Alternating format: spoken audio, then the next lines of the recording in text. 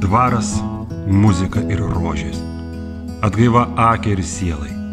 Viskas taip gracingai dera. Tegu laikas sustoja ir siela dainuoja. Jau Liepos 27 dieną laukime jūsų pirmajame rožių festivalyje Pažerių dvare.